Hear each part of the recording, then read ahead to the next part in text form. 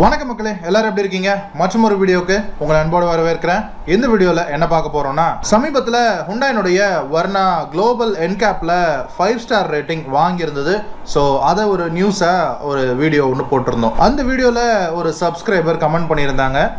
வர்ணாவுக்கும் வர்டஸுக்கும் ஒரு comparison video இந்த என்கேப்பை பற்றி ஒரு கம்பேரிசன் வீடியோ கொடுங்க பிரதர் அப்படின்னு. சரி பண்ணிடுவோமே அப்படின்னு தான் இந்த வீடியோவை பண்ணுறோம் இந்த வர்ணா வாட்டர்ஸ்னுடைய என்கேப் ரேட்டிங் ரெண்டுமே ஃபைவ் ஸ்டார் தான் வாங்கியிருக்கு. ஸோ அந்த ரெண்டு ரிப்போர்ட்டுமே ரொம்ப டீட்டெயில்டாக அலசி ஆராய அது அதுக்கு முன்னாடி என்கேப்னா என்ன?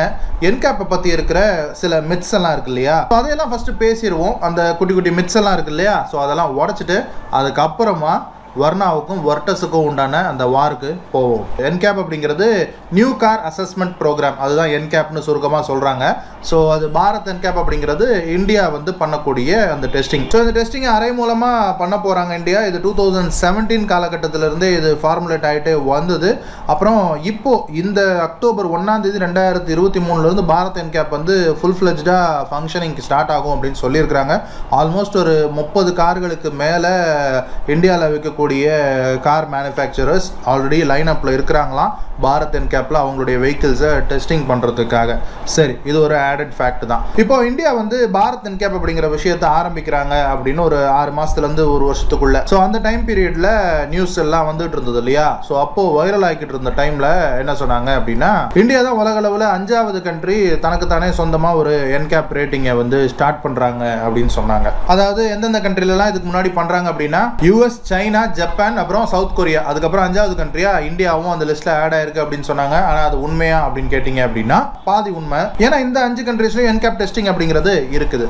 இது இல்லாமல் மற்ற கண்ட்ரீஸ்லையும் இருக்குது ஆஸ்திரேலியன் என்கேப்னு ஒன்று இருக்குது அது போக லாட்டின் என்கேப் அப்படின்னு ஒன்று இருக்குது அது போக தாய்வான் தாய்வான் ஒரு குட்டி கண்ட்ரி சைனா பக்கத்தில் ஒட்டிக்கிட்டு இருக்கோம். ஸோ தாய்வானுடைய என்கேப் அப்படின்னு கூட தனியாக ஒன்று இருக்குது அப்புறம் அது போக உலக ஃபேமஸான யூரோ என்கேப் அதுக்கப்புறம் குளோபல் என்கேப் ஸோ இத்தனை என்கேப்ஸ் இருக்குது அப்படிங்கிறத தெரிஞ்சுக்கோங்க. ஸோ இப்போ என்கேப் அப்படிங்கிறது உலகத்தில் ஃபஸ்ட்டு ஃபஸ்ட்டு எப்போ தொடங்கிச்சு? அதாவது ஹிஸ்ட்ரி நைன்டீன் செவன்டி நைனில் அமெரிக்காவில் அப்போ இந்த United States new car assessment programme US NCAP அப்படிங்கிறத ஸ்டார்ட் பண்ணாங்க.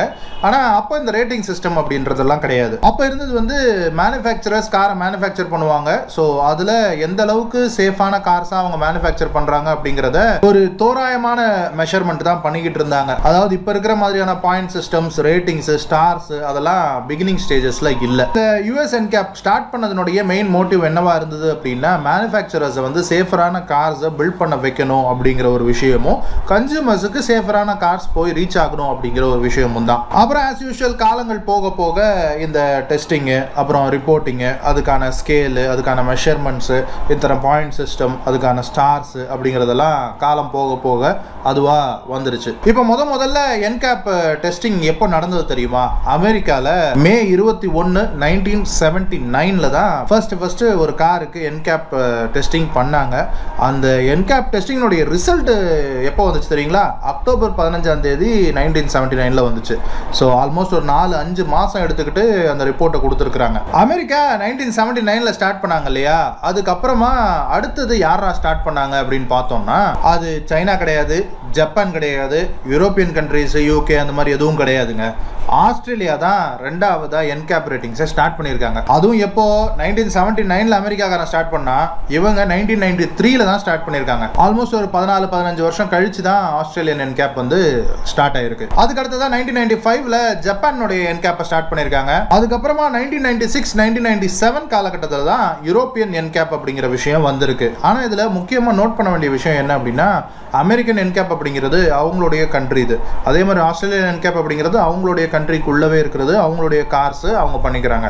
அதே மாதிரி ஜப்பானும் அவங்களுடைய கார்ஸை அவங்க பண்ணிக்கிறாங்க. பட் யூரோப்பியன் என்கேப் அப்படிங்கிறது ஒரு கான்டினென்ட்டுக்கானது அப்படிங்கிற மாதிரி ஃபர்ஸ்ட் கொண்டு வந்தாங்க. ஸோ பேசிக்காக ஐடியா என்ன அப்படின்னா ஒரு கண்ட்ரிக்கானதுக்கு மட்டும் கிடையாது இந்த டெஸ்டிங் ஃபெசிலிட்டி சில பல கண்ட்ரிகள் இணைந்து அவங்களுடைய கார்ஸை டெஸ்ட் பண்ணுறதுக்கான ஒரு ஃபெசிலிட்டி அப்படின்னு யூரோப்பியன் என்கேப் தான் ஃபர்ஸ்ட் கொண்டு வந்தாங்க. அதுக்கப்புறம் நைன்டி நைனில் கொரியன் என்கேப் அதாவது சவுத் கொரியாவில் இருக்கக்கூடிய என்கேப்பை ஸ்டார்ட் பண்ணாங்க. அதுக்கப்புறம் ரொம்ப லேட்டாக தான் சைனானுடைய என்கேப் ரெண்டாயிரத்தி ஆறில் ஸ்டார்ட் ஆச்சு. அதுக்கப்புறம் லாட்டின் என்கேப் ரெண்டாயிரத்தி பத்துலையும் அப்புறம் South East Asian NCAP ASEAN NCAP அப்படின்னு சொல்லுவாங்க. இது மலேசியாவை தலைமையிடமாக கொண்டு நடைபெற ஒரு டெஸ்டிங் ஃபெசிலிட்டி இப்படி இவ்வளோ காலங்கள் கழிச்சு செவன்டி நைன்ல இருந்து ரெண்டாயிரத்தி பதினொன்று காலகட்டம் வரைக்கும் வந்ததுக்கு அப்புறமா தான் இப்போ நம்ம பெருசாக பேசுகிறோம் இல்லையா? குளோபல் என்கேப் அப்படின்னு. அந்த குளோபல் என்கேப் அப்படிங்கிறது ரெண்டாயிரத்தி பதினொன்றில் தான் ஃபார்முலேட்டே பண்ணியிருக்கிறாங்க. ரெண்டாயிரத்தி பதினாலில் தான் அவங்களுடைய டெஸ்டிங் ஸ்டார்ட் ஆயிருக்கு. ஸோ ஆல்மோஸ்ட் ஒரு ஒரு டிக்கெட்டை தான் அவங்க ஃபுல்லி ஃபங்க்ஷனலாக இருக்கிறாங்க அப்படிங்கிறத நம்ம முதல்ல தெரிஞ்சுக்கணும். அதுக்கப்புறமா பாரத் என்கேப் ரெண்டாயிரத்தி பதினேழில் ஃபார்முலேட் பண்ணியிருக்கிறாங்க. இப்போ ரெண்டாயிரத்தி இருபத்தி மூணு அக்டோபர் ஒன்றாம் தேதியிலேருந்து அது ஃபுல் ஃப்ளெஜ்டாக ஆக்டிவ் ஆகும் அப்படின்னு சொல்லியிருக்கிறாங்க. பட்டு அக்டோபர் ஒன்றாம் தேதி நம்ம இப்போது கடந்துட்டோம். பட் அதை பற்றின எந்த ஒரு அப்டேட்டும் இது வரைக்கும் இல்லை. அதுக்கப்புறமா ரெண்டாயிரத்தி பதினெட்டில் தாய்வானுடைய என்கேப் அப்படிங்கிறது ஸ்டார்ட் பண்ணியிருக்காங்க அதுக்கப்புறமா தான் இப்போ இந்த இவி கார்ஸ் எல்லாம் வருது இல்லையா?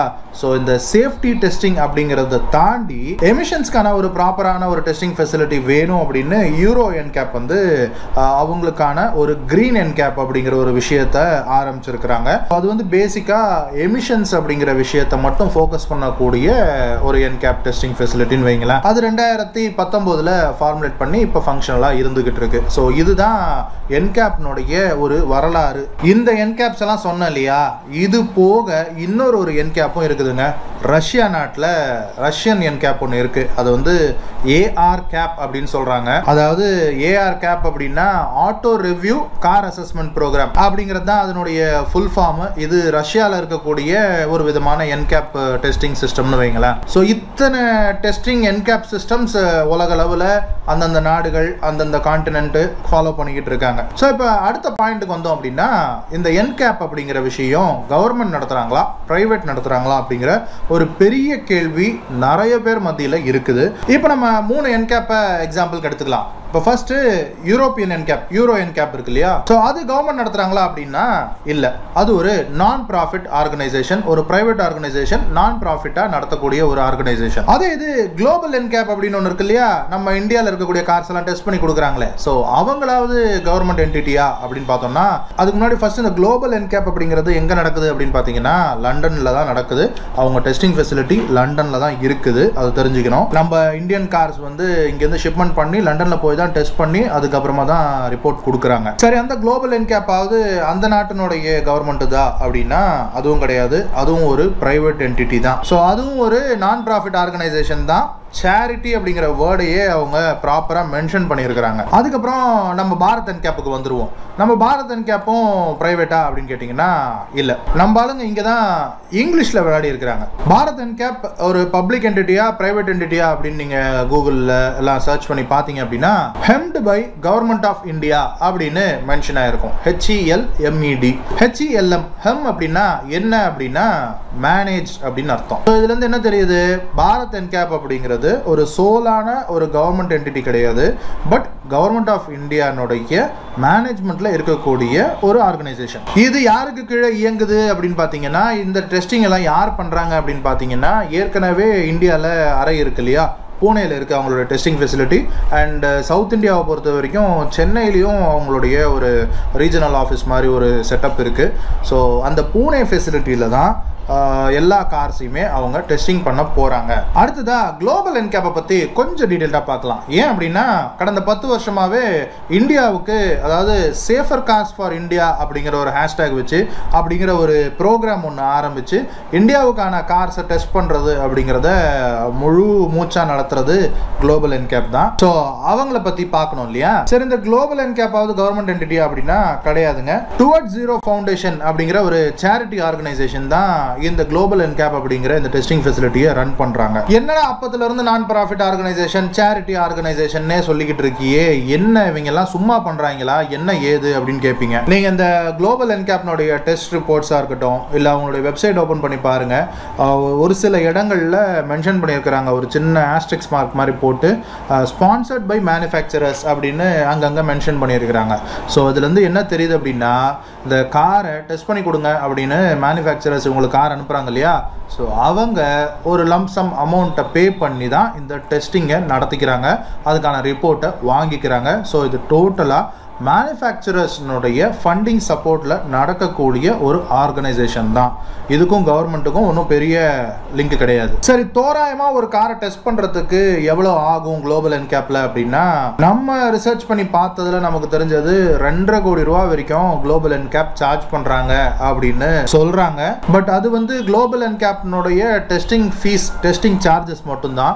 பட் அதுலேயே இந்த காரை இந்தியாவிலேருந்து நம்ம எக்ஸ்போர்ட் பண்ணணும் இல்லையா? ஸோ இப்போ இந்த குளோபல் என்கேப் டெஸ்டிங் அப்படிங்கிறது வந்து ஒரு நாலு அஞ்சு கட்டமாக நடக்கும். ஸோ ஒரு ஃபோர் டு ஃபைவ் கார்ஸை இந்தியாவிலேருந்து அந்த மேனுஃபேக்சரர் ஒவ்வொரு மாடலுக்கும் எந்தெந்த மாடலை டெஸ்ட் பண்ணுறாங்களோ இப்போ வர்ணாவை டெஸ்ட் பண்ணுறாங்க அப்படின்னா வர்ணாவில் ஒரு நாலஞ்சு வெஹிக்கிளை அவங்க யூகேவுக்கு லண்டனுக்கு அனுப்பி வைக்கணும். ஸோ அந்த டிரான்ஸ்போர்ட் சார்ஜஸ் லாஜிஸ்டிக்ஸ் சார்ஜஸ் இருக்குது அது போக அந்த கார் வந்து அனுப்பிச்சி வச்சா அனுப்பிச்சி வச்ச மாதிரியே திருப்பி வந்துருமா என்ன? அதை போட்டு உடைக்கிறது தான் கான்செப்டே ஸோ அப்படி இருக்கையில் அந்த காரனுடைய மேனுஃபேக்சரிங் காஸ்ட் ஒரு பதினஞ்சு லட்ச ரூபான்னு வைங்க. ஸோ ஒரு நாலு கார் அனுப்புகிறாங்க அப்படின்னாலே அறுபது லட்ச ரூபான்றது சுவாகா ஸோ ஏற்கனவே குளோபல் என்கேப்னுடைய சார்ஜஸ் அப்படின்னு ஒரு ரெண்டரை கோடி ரூபா இருக்குது அதுக்கப்புறமா இந்த அறுபது லட்ச ரூபா காரனுடைய சார்ஜஸ் அதுக்கப்புறமா இங்கேருந்து நம்ம எக்ஸ்போர்ட் பண்ணக்கூடிய சார்ஜஸ் அது ஒரு எக்ஸ் அமௌண்ட்னு வைங்க. டோட்டலாக கூட்டு கழிச்சு பார்த்தீங்க அப்படின்னா ஒரு மூன்றரை கோடி ரூபா கிட்டக்க வந்துடக்கூடிய ஒரு விஷயமா இருக்குது ஸோ இது ஒரு பெரிய எக்ஸ்பென்சிவான ஒரு விஷயம்தான். ஒரு பதினஞ்சு லட்ச ரூபா காருக்கே இந்த எக்ஸ்பென்ஸ் ஆகுது அப்படின்ற பட்சத்தில் ஒரு நாற்பது லட்ச ரூபா கார் ஒரு நாலு கார் அனுப்புனா ஸோ அது இன்னும் எக்ஸ்பென்ஸ் அதிகமாக தான் ஆகும். ஸோ அதையும் நம்ம மனசில் வச்சுக்கணும். இதில் ஒரே ஒரு நல்ல விஷயம் என்ன அப்படின்னா பாரத் என்கேப் இப்போ ஸ்டார்ட் பண்ணுறாங்க இல்லையா? அதனுடைய சார்ஜஸ் எவ்வளோ அப்படின்னு சர்ச் பண்ணி பார்த்ததுல அறுபது லட்ச ரூபாய் வரைக்கும் சார்ஜஸ் ஆகும் அப்படின்னு பாரத் என்கேப் வந்து சொல்கிறாங்க இன்னொன்று அதில் இந்த லாஜிஸ்டிக்ஸ் எக்ஸ்பென்ஸ் கிடையாது. ஷிப்மெண்ட் பண்ணி எக்ஸ்போர்ட் பண்ணணும் கார்ஸை அப்படிங்கிற விஷயம் கிடையாது. இது வந்து பூனேல தான் இருக்குது ஸோ இங்கே இருக்கிற இந்தியாவில் இருக்கிற பிளான்ட்ஸ்லேருந்து ஒரு லாரியில் ஏற்றி நம்ம பூனே பிளான்ட்டுக்கு அனுப்பி டெஸ்டிங் ஃபெசிலிட்டிக்கு அனுப்பி டெஸ்ட் பண்ணிக்கலாம். ஸோ அந்த டெஸ்டிங் ஃபீஸ் அப்படிங்கிறது குளோபல் என்கேப்புக்கும் பாரத் என்கேப்புக்கும் ரெண்டரை கோடியிலிருந்து அறுபது லட்ச ரூபாய்க்கு குறைஞ்சிருது. அது போக மேனுஃபேக்சரர்ஸுக்கு எக்ஸ்போர்ட் பண்ணக்கூடிய அந்த செலவு மிச்சம். என்ன அந்த கார்னுடைய மேனுஃபேக்சரிங் காஸ்ட் இருக்குது ஏன்னா அது போட்டு உடைக்க போகிறாங்க ஸோ அது கண்டிப்பாக திரும்பி வரப்போகிறது இல்லை. இப்போ உங்களுக்கு ஒரு பெரிய டவுட் ஒன்று இருக்கும். மற்ற என் கேப்லாம் பார்த்தோம்னா யூஎஸ் என் கேப்னு இருக்குது யூரோ என் கேப்னு இருக்குது சைனா என் கேப்னு இருக்குது தாய்வான் என்கேப்னு இருக்குது ஈவன் இந்தியா அது கூட பாரத் என் கேப்னு பேர் வச்சுருக்கிறாங்க. ஸோ அந்தந்த கண்ட்ரி இல்லை ஒரு குரூப் ஆஃப் கண்ட்ரிஸ் சேர்ந்து நடத்தக்கூடிய ஒரு என் கேப் அப்படிங்கிறது தெரியுது. அந்தந்த கண்ட்ரிக்காக அவங்க அந்த கார்ஸை டெஸ்டிங் பண்ணிக்கிறாங்க அப்படிங்கிறது புரியுது. பட் இந்த குளோபல் என் கேப் அப்படின்னா என்ன? ஸோ இந்த என்கேப் சிஸ்டம்ஸ் இல்லாத கண்ட்ரிஸ் எல்லா கண்ட்ரிக்கும் இவங்க என் கேப் ரேட்டிங் பண்ணி கொடுப்பாங்களா? அப்படின்றது தான் அர்த்தமா அப்படின்னு ஒரு கேள்வி இருக்கு இல்லையா? இந்த குளோபல் என்கேப் அப்படிங்கிறது என்ன அப்படின்னா ஒரு ஏமாத்து வேலை. ஆமாங்க நான் கொஞ்சம் ஹார்ஷாக பேசுகிற மாதிரி இருக்கும். பட் உண்மை என்ன அப்படின்னு நீங்களே போய் ஓப்பன் பண்ணி படித்து பார்த்தீங்க. அவங்களுடைய யூடியூப்பை ஓப்பன் பண்ணி பார்த்தீங்க. அவங்களுடைய வெப்சைட்டை ஓப்பன் பண்ணி பார்த்தீங்கன்னா உங்களுக்கே புரியும். இந்த குளோபல் என்கேப் அப்படிங்கிறது உண்மையிலேயே ஒரு ஏமாத்து வேலை. இந்த குளோபல் என்கேப் அவங்க வெப்சைட்டில் அவங்க சொல்லியிருக்கிற விஷயங்கள் என்ன அப்படின்னா யுஎன்னுடைய சஸ்டைனபிள் டெவலப்மெண்ட் அப்படிங்கிற ஒரு கான்செப்ட் இருக்குது ஸோ அதில் ஒரு சில கோல்ஸ் எல்லாம் கொடுத்துருக்குறாங்க. ஸோ அந்த கோல்ஸ் படி பார்த்தீங்க அப்படின்னா ரெண்டாயிரத்தி முப்பது டூ தௌசண்ட் தேர்ட்டி அப்படிங்கிற அந்த இயர்க்குள்ள இப்போ நடக்கக்கூடிய கார் ஆக்சிடென்ட்ஸ் அப்புறம் உயிர் பலிகள் அப்புறம் ஆக்சிடென்ட்ஸ்னால நடக்கக்கூடிய இன்ஜுரிஸ் இருக்கு இல்லையா? ஸோ இது எல்லாத்தையுமே ஃபிஃப்டி பர்சண்டாக குறைக்கணும் அப்படிங்கிறது யுஎன்னுடைய ஒரு கோல் ஒரு பாலிசின்னு வைங்க. அதை வந்து ஃபிஃப்டி பை தேர்ட்டி அப்படின்னு சொல்லுவாங்க. ஸோ ஃபிஃப்டி பர்சன்ட் ஹாஃபாக குறைக்கணும் ரெண்டாயிரத்தி முப்பதுக்குள்ள. அதுதான் அந்த ஃபிஃப்டி பை தேர்ட்டி அப்படிங்கிற அந்த கோல் பாலிசி அதை மைண்டில் வச்சுக்கிட்டு ரெண்டாயிரத்தி பதினாலில் எப்படியாவது பணம் பண்ணிட முடியாதா அப்படின்னு ஆரம்பிக்கப்பட்ட ஒரு ஆர்கனைசேஷன் தான் குளோபல் என்கேப் இந்த குளோபல் என்கேப்பில் அவங்க என்ன பண்ணுறாங்க எந்த நாட்டினுடைய காரெல்லாம் டெஸ்ட் பண்ணுறாங்கன்றத முதல்ல நீங்கள் பார்க்கணும். அவங்க டெஸ்ட் பண்ணுறது ரெண்டே ரெண்டு நாட்டுக்கான கார்கள் மட்டும்தான். ஆஃப்ரிக்கா அப்புறம் இந்தியா. அவங்க பண்ணுற ப்ரோக்ராம்ஸே ரெண்டு ப்ரோக்ராம் தான் மேஜராக safer cars for India safer cars for Africa so இந்த ரெண்டு மேஜர் ப்ரோக்ராம்ஸ் தான் அவங்க பண்ணுறாங்க ஸோ அப்படி இருக்க பட்சத்தில் இந்தியா அண்ட் ஆஃப்ரிக்கா என்கேப்னு வச்சிருக்கலாம்ல பேரை. ஆனால் குளோபல் என்கேப்னு வச்சுருக்கிறாங்க. ஏன் அப்படின்னா மார்க்கெட்டிங் தான். அப்போ தானே நீங்கள் நம்புவீங்க. காசு வாங்குறவங்க குளோபல் என்கேப்புக்கு போயிட்டு வந்திருக்கு. பல நாடுகள்ல இருந்து கார்கள் வரும். பல நாட்டு கார்களை டெஸ்ட் பண்ணுவாங்க. அதில் நம்ம நாட்டு காரு நம்ம வாங்கக்கூடிய அந்த பிராண்டினுடைய இந்த மாடல் காருக்கு ஃபோர் ஸ்டார் கிடச்சிருக்கு ஃபைவ் ஸ்டார் கிடச்சிருக்கு அப்படிங்கிற ஒரு பெருமிதத்தில் அப்படிங்கிற ஒரு மார்க்கெட்டிங் ஸ்ட்ராட்டஜியை நம்ம தலையில் திணிச்சு வெஹிக்கிளை விற்க முடியும். ஸோ அவ்வளோதான் ஒரு மார்க்கெட்டிங் ஸ்ட்ராட்டஜி தான் இந்த குளோபல் என்கேப் அப்படிங்கிறது. என்னடா நீ இவ்வளோ ஹார்ஷாக பேசுகிற அப்படின்னு கேட்பீங்க நான் ஹார்ஷ் ஹார்ஷாக பேசுகிறேன் அப்படிங்கிறது ஒரு பக்கம் இருக்கட்டுங்க குளோபல் என்கேப் மேலே எவ்வளவு கிரிட்டிசிசம் இருக்குது அப்படிங்கிறத நீங்கள் கூகுளில் ஜஸ்ட்டு டைப் பண்ணி படிச்சு பாருங்க. நிறைய ஆர்டிகல்ஸ் இருக்குது குளோபல் என்கேப்பை கிரிட்டிசைஸ் பண்ணி. ஈவன் நிறைய மேனுஃபேக்சரர்ஸே குளோபல் என்கேப் மேலே பல நேரங்களில் பல கிரிட்டிசிசங்களை வச்சிருக்கிறாங்க. அதாவது அவங்களுடைய ஃப்ரண்டல் கிராஷுக்கு அவங்க வச்சிருக்கிற ஸ்பீட் லிமிட் அப்படிங்கிறது sixty four kilometre per hour but மற்ற என்கேப்ஸை கம்பேர் பண்ணி பார்க்கும்போது ஃபிஃப்டி கிலோமீட்டர் பர் ஹவர் அப்படிங்கிற அந்த ஸ்பீட் லிமிட்டில் தான் ஃப்ரண்டல் டெஸ்ட் பண்ணுறாங்க பட் நீங்கள் ஏன் சிக்ஸ்டி ஃபோர் கிலோமீட்டர் பர் ஹவரில் பண்ணுறீங்க அப்படின்னு பல மேனுஃபேக்சரர்கள் கேள்வி எழுப்பினாங்க. அண்ட் டபுள் ஸ்டாண்டர்ட்ஸாக இருக்குது அவங்களுடைய ரிப்போர்ட்டு அப்படின்ற பல குற்றச்சாட்டுகள் குளோபல் என்கேப் மேலே இருக்குது நான் மேனுஃபேக்சரர் சைடும் பேசலை. அதே இது குளோபல் என்கேப் சைடும் பேசலை. நடுவில் நின்று என்ன நடந்திருக்கு அப்படிங்கிறத உங்கள்கிட்ட சொல்கிறேன் அவ்வளோதான் சரி அடுத்தது நம்ம கதைக்கு வருவோம். பாரத் என்கேப் பாரத் என்கேப் அப்படிங்கிறது நான் சொன்ன மாதிரி இந்தியன் கவர்மெண்ட்னுடைய மேனேஜ்மெண்ட்ல அதாவது மேற்பார்வையில் நடக்கக்கூடிய ஒரு விஷயம். இதை எடுத்து நடத்துறதுன்னு பார்த்தோம்னா அரை. இப்போ வரைக்குமே இந்த பாரத் என்கேப்ல கார்ஸை டெஸ்டிங்க்கு அனுப்புறது அப்படிங்கிறது கம்பல்சரி கிடையாது. இந்தியன் கவர்மெண்ட் லா படி. இது ஒரு வாலண்டரி ப்ரோக்ராம் தான். மேனுஃபேக்சரர்ஸ் அவங்களுடைய காருக்கு இந்த டெஸ்டிங் ரேட்டிங் வேணும் அப்படின்னா அவங்க காருங்களை அனுப்பி டெஸ்டிங் பண்ணிக்கலாம் பேமெண்ட் பண்ணி டெஸ்டிங் பண்ணிக்கலாம் ரிப்போர்ட் வாங்கிக்கலாம். அதை வச்சு அவங்க மார்க்கெட்டிங் பண்ணி காரை விற்றுக்கலாம் பட் இந்த சேஃப்டி ரேட்டிங் பண்ணால் தான் நீங்கள் காரை விற்கணும் அப்படிங்கிற கம்பல்ஷன் கிடையாது. இந்தியன் கவர்மெண்ட் அப்படி ஒரு கம்பல்ஷனை எந்த மேனுஃபேக்சர் மேலேயும் திணிக்கல. அண்ட் இந்த டெஸ்டிங் எந்த மாதிரி இருக்கும்? குளோபல் என்கேப்புக்கும் பாரத் என்கேப்புக்கும் டெஸ்டிங்கில் ஏதாவது டிஃப்ரென்ஸ் இருக்குமா அப்படின்னு கேட்டிங்கன்னா மோர் ஆர்லெஸ் சேம் தான். குளோபல் என்கேப் எந்த மாதிரியான டெஸ்டிங் யூஸ் பண்ணுறாங்களோ அதே மாதிரியான டெஸ்டிங் அண்ட் மெஷர்மெண்ட்ஸ் தான் பாரத் என்கேப்லையும் யூஸ் பண்ண போகிறாங்க என்ன ஒரே ஒரு விஷயம்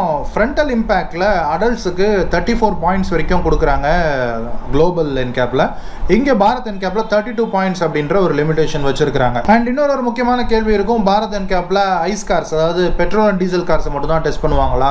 சிஎன்ஜி கார்ஸை டெஸ்ட் பண்ண மாட்டாங்களா? எலக்ட்ரிக் வெஹிக்கிள்ஸை டெஸ்ட் பண்ண மாட்டாங்களா? அப்படிங்கிற கேள்வி சில பேருக்கு இருக்கும். எஸ் டெஸ்ட் பண்ணுவாங்க. Not only petrol diesel CNG அதுக்கப்புறமா எலக்ட்ரிக் வெஹிக்கிள்ஸ் எல்லா விதமான கார்களையும் இந்த பாரத் என்கேப் மூலமாக டெஸ்டிங் பண்ணுவாங்க. அண்ட் uh, இந்த டெஸ்டிங்க்கு எலிஜிபிலிட்டி ஆகக்கூடிய வெஹிக்கிள்ஸ்னு ஏதாவது இருக்கா அப்படின்னு கேட்டிங்கன்னா ஒரே ஒரு க்ரைட்டீரியா வச்சுருக்கிறாங்க.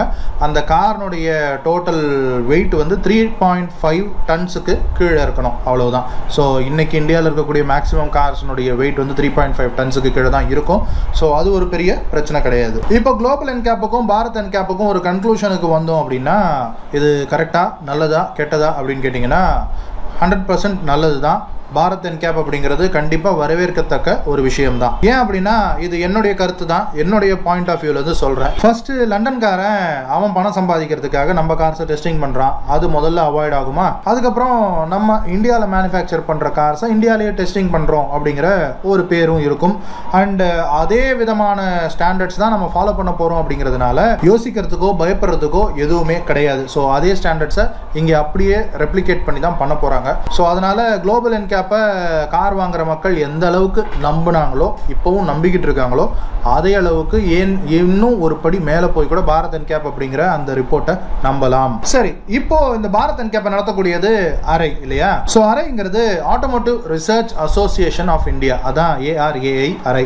ஸோ இதனுடைய டெஸ்டிங் ஃபெசிலிட்டி எல்லாமே பூனேல தான் இருக்கு. இது இந்தியாவில் எப்போ ஆரம்பிக்கப்பட்டது அப்படின்னா நைன்டீன் சிக்ஸ்டி சிக்ஸ்ல இருந்து இது ஃபங்க்ஷனலாக இருக்கு. இவங்க இந்த என்கேப் டெஸ்டிங் அப்படிங்கிறது இப்போ பாரத் என்கேப் மூலமாக வந்திருக்கிறாங்க. ஆனால் இதுக்கு முன்னாடி பல விதமான ரிசர்ச்லையும் டெஸ்டிங்லையும் ஈடுபட்டு இருந்தாங்க மெயினாக ஒரு வெஹிக்கிளினுடைய எமிஷன் வேல்யூவேஷன் அப்புறம் அந்த வெஹிக்கிள் ப்ரொடியூஸ் பண்ணுற நாய்ஸ் வைப்ரேஷன் இதனுடைய வரையறை இதனுடைய மெஷர்மெண்ட்ஸ் இதனுடைய அளவுகள் இவ்வளோ தான் இருக்கணும் அப்படிங்கிறத வரையறுக்கிறதும் அறை தான் அந்த மாதிரி அந்த வெஹிக்கிள் எவ்வளோ ஹார்ஷாக இருக்குது அதனுடைய பவர் ட்ரெயின் என்ன அந்த ப்ராடக்ட்னுடைய அந்த வெஹிக்கிளில் என்ன மெட்டீரியல்ஸ் யூஸ் பண்ணியிருக்காங்க அந்த மெட்டீரியல்ஸினுடைய ஸ்ட்ரென்த் என்ன.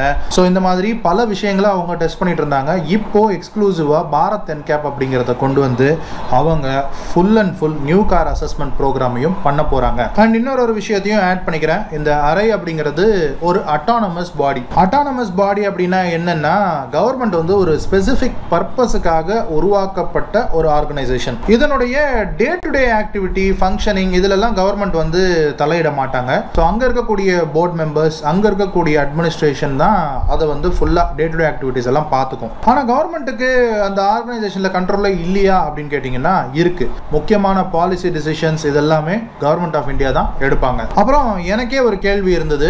இந்த sixty four kilometre per hour அப்படிங்கிற ஒரு ஸ்பீடை மென்ஷன் பண்ணுறாங்க அந்த ஸ்பீடில் தான் மேக்ஸிமம் இந்த ஃப்ரண்டல் கிராஷ் அப்படிங்கிறத டெஸ்டிங் பண்ணுறாங்க குளோபல் என்கேப்பில் அது என்னடா அது sixty four kilometre per hour அப்படின்னு ஒரு கேள்வி இருக்குல்ல? ஏன் அதுக்கு மேலே பண்ணக்கூடாதா? அதுக்கு கீழே பண்ணக்கூடாதா? அப்படின்ற ஒரு கேள்வி இருக்கு இல்லையா? அது என்ன அப்படின்னா சிக்ஸ்டி ஃபோர் கிலோமீட்டர் பர் ஹவரில் அவங்க அந்த கிராஷ் டெஸ்ட்டை பண்ணும்போது அவங்க என்ன மீன் பண்ண வராங்க? அப்படின்னா அதே எடை அதே வெயிட் இருக்கக்கூடிய இன்னொரு ஒரு கார் ஆப்போசிட் டைரக்ஷனில் வருது. ஸோ அது ரெண்டும் கொலைட் ஆகும்போது ஸோ ஒரு ஈக்குவேஷன் படி பார்த்தாங்க அப்படின்னா fifty five kilometre per hour அப்படிங்கிற ஸ்பீடில் தான் இந்த ரெண்டு காருமே மோதுது அப்படின்னு சொல்கிறாங்க இது ஒரு பாயிண்ட் இன்னொன்று என்ன அப்படின்னா ஈல்டு ஸ்ட்ரெஸ் அப்படின்னு சொல்கிறாங்க கார்களில் வந்து பல மெட்டீரியல்ஸ் யூஸ் பண்ணியிருக்காங்க. அதில் மேக்ஸிமம் இருக்கக்கூடிய மெட்டீரியல் அப்படின்னா அந்த ஸ்டீல் ஸோ அந்த ஸ்டீலினுடைய ஈல்டு ஸ்ட்ரெஸ் அப்படிங்கிறது மேக்ஸிமம் அந்த sixty four kilometre per hour அப்படிங்கிற அந்த ஸ்பீடுக்கு மேலே போனால் அந்த ஈல்டு ஸ்ட்ரெஸ் அப்படிங்கிறது பிரேக் ஆகிடுமா ஸோ அந்த மெட்டீரியலினுடைய ஈல்டு ஸ்ட்ரெஸ் பாயிண்ட் அப்படிங்கிறத sixty four kilometre per hour அப்படின்னு கணிச்சு வச்சுருக்காங்க. ஸோ அதனால தான் அந்த ஸ்பீடில் மேக்ஸிமம் அவங்க டெஸ்டிங்கை நடத்துகிறாங்க இன்னொரு ஒரு விஷயம் நான் எப்போவுமே சொல்கிறது உண்டு. ஃப்ரெண்ட்ஸாக இருந்தாலும் சரி சப்ஸ்கிரைபர்ஸாக இருந்தாலும் சரி யாராவது என்கிட்ட கார் வாங்குறத பற்றி டிஸ்கஷன் ஒரு கன்சல்டிங் மாதிரி பேசிக்கிட்டு இருந்தாங்கன்னு வைங்க. அப்போது அவங்க அந்த என் கேப் அப்படிங்கிற விஷயத்தை கொண்டு வருவாங்க. ஸோ அப்போது நான் முக்கியமாக சொல்லக்கூடிய ஒரு பாயிண்ட்டு என் கேப் ரேட்டிங் அப்படிங்கிறத மைண்டில் வச்சுக்கோங்க. அது சேஃப்டிக்கான அளவுகோல் தான். இல்லைன்னு சொல்லலை. பட் இருந்தாலும் அதை மட்டுமே மைண்டில் வச்சுக்கிட்டு ஒரு காரனுடைய பையிங்கை டிசைட் பண்ணாதீங்க அப்படின்ற ஒரு பாயிண்ட் நான் சொல்லுவேன். அது பர்சனலாக என்னுடைய கருத்து. ஏன் அப்படின்னு கேட்டிங்கன்னா அதை தான் இந்த வீடியோவில் இவ்வளோ நேரமாக பஸ் பண்ண ட்ரை பண்ணிக்கிட்டு இருந்தோம். ஏன்னா குளோபல் என்கேப் அப்படிங்கிறது குளோபல் என்கேப்பே கிடையாது. இந்தியாவுக்கும் ஆப்பிரிக்காவுக்குமானது. அப்புறம் அது ஒரு கவர்மெண்ட் என்டிட்டி கிடையாது. அது ஒரு ப்ரைவேட் என்டிட்டி ஒரு non profit organisation charity organisation சொல்லிட்டு கோடிக்கணக்கில் வசூல் பண்ணி அந்த டெஸ்ட் ரிப்போர்ட்டை கொடுக்குறாங்க. அண்ட் அந்த பணத்தை யார் கொடுக்குறாங்க? இந்த டெஸ்டிங்க்கு அனுப்பக்கூடிய அந்த கார் மேனுஃபேக்சரர்ஸ் தான் அந்த ஃபண்டிங்கை கொடுக்குறாங்க. அவங்க தான் அதை ஸ்பான்சர் பண்ணி அந்த ரிப்போர்ட்டை வாங்குறாங்க. இதனாலலாம் அந்த ரிப்போர்ட் சரியில்லை அந்த ரிப்போர்ட் கரெக்ட் இல்லை அப்படின்னு நான் சொல்ல வரல. உண்மையிலேயே மக்களுக்கு ஒரு சேஃபரான ப்ராடக்ட் ஒரு சேஃபரான காரை கொடுக்கணும் அப்படிங்கிற ஒரு நோக்கத்தோட செய்யப்படுற இந்த டெஸ்டிங்குக்கு என்னுடைய முழு ஆதரவு இருக்குது பட் என்ன அப்படின்னா அதை கார் மேனுஃபேக்சரர்ஸ் வெறும் மார்க்கெட்டிங்க்கு மட்டுமே பயன்படுத்துகிறாங்க அப்படிங்கிறது தான் ரொம்ப வேதனையாக இருக்குது ஏன்னா டாட்டா அப்படிங்கிற பிராண்டை நெக்ஸானுக்கு முன் நெக்ஸானுக்கு பின் அப்படின்னு ரெண்டாக பிரிச்சிடலாம். டாட்டானுடைய பிராண்ட் வேல்யூவும் சரி சேல்ஸ் ஃபிகர்ஸும் சரி நெக்ஸானுக்கு அப்புறமா எவ்வளவு பிக்கப் ஆகிருக்கு எவ்வளவு நம்பர்ஸ் டபுள் ட்ரிபிள் ஆகிருக்கு அப்படிங்கிறது நான் சொல்ல வேண்டாம். எல்லாருக்குமே தெரிஞ்ச விஷயம் இது ஒரு ஓப்பன் சீக்ரெட் அதுக்கு முக்கியமான காரணம் என்ன? நெக்ஸானுக்கு அவங்க வாங்கின அந்த five star rating India's safest car அப்படிங்கிற அந்த டேக்லைனை போட்டாங்க. நெக்ஸான் ஒரு அமேசிங்கான கார் தான். அதை நான் இல்லைன்னு சொல்லலை. பட் அந்த அமேசிங்கான காரை மக்கள்கிட்ட கொண்டு போய் சேர்க்கறதுக்கான ஒரு மார்க்கெட்டிங் டூலாக பயன்பட்டது இந்த ஃபைவ் ஸ்டார் ரேட்டிங் அப்புறம் இந்தியா சேஃபஸ்ட் கார் அப்படிங்கிற டேக்லைன் ஸோ டோட்டலாக இதுக்கு பின்னாடி இருக்கிறது அந்த ஃபைவ் ஸ்டார் ரேட்டிங் அப்படிங்கிற மார்க்கெட்டிங் ஸ்ட்ராட்டஜி தான். நான் சும்மா சொல்லலைங்க. நெக்ஸானுக்கு இந்த ஃபைவ் ஸ்டார் ரேட்டிங் வந்திருந்தப்போ நீங்கள் டாட்டானுடைய ஷோரூம்ஸ் எல்லாம் போய் பார்த்தீங்கன்னா எல்லா பக்கமும் ஃபைவ் ஸ்டார் ரேட்டிங்னுடைய ஸ்டிக்கர்ஸ் தான் ஒட்டியிருப்பாங்க. ஏன் இப்போது சமீபத்தில் ஸ்கோடா ஸ்லாவியாவுக்கும் வோக்ஸ் வேகன் விர்டஸுக்கும் இந்த ஃபைவ் ஸ்டார் ரேட்டிங் வந்துச்சுல்ல அவங்களுடைய ஷோரூம்ஸ் ஃபுல்லாகவே இந்த ஸ்டிக்கர் தான் ஒட்டி வச்சுருந்தாங்க ஃபைவ் ஸ்டார் ரேட்டிங்ன்றது ஒரு கிளாஸ் டேபிளில் உட்காந்து பேசுவோம் இல்லையா? அந்த டேபிளில் கூட அந்த ஃபைவ் ஸ்டார் அப்படிங்கிற அந்த ஸ்டிக்கரிங்க ஒட்டி வச்சுருந்தாங்க. அந்த five star five star five star five star இருக்கிற கார் நாங்கள் விற்கிறோம் அப்படின்னு அப்படியே மக்கள் மைண்டில் திணிக்கிற மாதிரியான அந்த மார்க்கெட்டிங் ஸ்ட்ராட்டஜி அது. ஸோ அதே தான் இப்போது ஹுண்டாய் வர்ணாவும் வாங்கியிருக்கு. ஹுண்டாயும் அதே தான் பண்ணுறாங்க நான் ஏற்கனவே போன வீடியோ ஹுண்டாயினுடைய அந்த ஃபைவ் ஸ்டார் ரேட்டிங் வாங்கின அந்த வீடியோலையுமே சொல்லியிருந்தேன். நீங்கள் ஜஸ்ட் கூகுளில் போயிட்டு ஹுண்டாயின்னு டைப் படிங்க ஹுண்டாயினுடைய அஃபிஷியல் வெப்சைட்னுடைய அந்த டேக் லைன் அந்த டைட்டில் லைனே என்னவா இருக்குன்னு போய் பாருங்க. All new Hyundai Verna awarded five star crash test rating by global NCAP அப்படின்னு தான் போட்டிருக்கும். ஸோ அதில் விமர்சனமாக இருக்கிற விஷயம் என்னென்னா அந்த அவார்டட் அப்படிங்கிற ஒரு வேர்ட் போடுறாங்கல்ல அது என்ன அவார்டட் அது ஒரு மார்க்கெட்டிங் டூலாக தானே நீங்கள் யூஸ் பண்ணுறீங்க ஸோ அதுதான் கொஞ்சம் நெருடலான விஷயமா இருக்குது இந்த டோட்டல் என்கேப் விஷயங்களில். சேஃப்டி தான் ப்ரையாரிட்டி அப்படின்னு மேனுஃபேக்சரிங் கம்பெனிஸ் நினைக்கல. மார்க்கெட்டிங் தான் அதுக்கு முன்னாடி வந்து நிற்கிது ஸோ அதை சேஃப்டி பீட் பண்ணணும். அந்த பாயிண்ட் கூடிய சீக்கிரம் வரும் அப்படின்னு எதிர்பார்க்குறேன். அண்ட் அந்த சேஞ்ச் மேனுஃபேக்சரிங் கம்பெனிஸ் கிட்டேருந்து வரதை விட மக்கள் கிட்டேருந்து வந்தது அப்படின்னா தான் அது இன்னமும் ஒரு நல்ல விஷயமா இருக்கும். இன்னொன்று கிராஷ் டெஸ்ட் ரேட்டிங்கில் ஃபைவ் ஸ்டார் வாங்கின கார் எடுத்துகிட்டு போய் நூற்றி இருபது நூற்றி நாற்பதில் ஆக்சிடென்ட் பண்ணால் நமக்கு ஒன்றும் ஆகாது அப்படின்னு மக்கள் நினைக்கக்கூடாது. அப்படிப்பட்ட ஒரு இம்ப்ரெஷன்லையும் பல பேர் இருக்கிறாங்க. ஃபைவ் ஸ்டார் இருக்கிற காரை வாங்கிட்டோம் அப்படின்னா நம்ம உயிருக்கு ஆபத்து இல்லை. நம்மளை எப்படியும் இந்த வண்டி காப்பாற்றிடும் அப்படிங்கிற ஒரு கண்ணோட்டத்தில் இருக்கிறாங்க. அது ஒரு தவறான கண்ணோட்டம். என்றைக்குமே நம்ம ரெஸ்பான்சிபிளாக டிரைவ் பண்ணணும். அந்தந்த ரோடுக்கான ரெஸ்பான்சிபிளான ஸ்பீட் லிமிட்ஸில் டிரைவ் பண்ணணும். ஏன் அப்படின்னா நம்மளோட லைஃபும் நம்ம ஃபேமிலியோடைய லைஃபும் நம்ம கூட நம்ம காரில் ட்ராவல் பண்ணுறவங்களுடைய லைஃப்பும் அந்த காரை ஸ்டேரிங் பிடிக்கிறவங்களுடைய கையில் தான் இருக்குது ஸோ அவங்க ரெஸ்பான்சிபிளாக கண்டிப்பாக இருக்கணும். சரி என்னடா இந்த என்கேப்பை இவ்வளோ பேஷ் பண்ணுறானேன்னு நினைக்காதீங்க. என்னோட கோவம்லாம் என்கேப் அப்படிங்கிறத சேஃப்டியை முக்கியத்துவம் வச்சு பண்ணாங்க அப்படின்னா ரொம்ப சந்தோஷப்படுவேன். ஆனால் அந்த மார்க்கெட்டிங்கை முக்கியத்துவம் வச்சு பண்ணுறாங்க அப்படின்றப்ப தான் கொஞ்சம் கடுப்பாகுது. ஸோ அதனால தான் இந்த மிட்ஸ் எல்லாம் உடைக்க வேண்டிய ஒரு வீடியோ போட வேண்டிய ஒரு கண்டிஷன் வந்துருச்சு. இதுதான் என்கேப்பை பற்றி நான் ஓரளவுக்கு ரிசர்ச் பண்ணி தெரிஞ்சுக்கிட்டது. ஸோ அதை உங்ககிட்ட சொல்லலாம் அப்படின்றது தான் இந்த வீடியோனுடைய நோக்கம். இப்போ முக்கியமான கட்டத்துக்கு வருவோம். நம்ம சப்ஸ்கிரைபர் கேட்ட மாதிரி வர்ணாவுக்கும் வர்டஸுக்கும் உண்டான அந்த குளோபல் என்கேப்னுடைய ரிப்போர்ட்ஸ் அப்புறம் அந்த வீடியோஸை கம்பேர் பண்ண போகிறோம் இருங்க இருங்க ஒரு நிமிஷம். இந்த வீடியோ ஆல்ரெடி ரொம்ப பெருசாக வந்துருச்சு. நான் ஷார்ட்டாக பண்ணலாம் தான் நினச்சேன். பட் கொஞ்சம் லென்த்தியாக வந்துருச்சுன்னு நினைக்கிறேன். ஸோ பார்ட் டூவில் பண்ணுவோமா? இந்த வர்ணா விர்டஸ் கம்பேரிசன் ஸோ இந்த கம்பேரிசன் வீடியோவை நாளைக்கு போட்டுடுறேன் கொஞ்சம் வெயிட் பண்ணுங்கள் அடுத்த வீடியோவில் உங்களை வந்து சந்திக்கிறேன். ப்ளீஸ் ஸ்டே டியூண்டாக இருங்க. ஓகே மக்களே மற்றொரு வீடியோவில் உங்களை வந்து சந்திக்கிறேன். நாளைக்கு இதே வீடியோனுடைய கண்டினியூவேஷனில் உங்களை வந்து சந்திக்கிறேன். அது வரைக்கும் டாடா பபாய்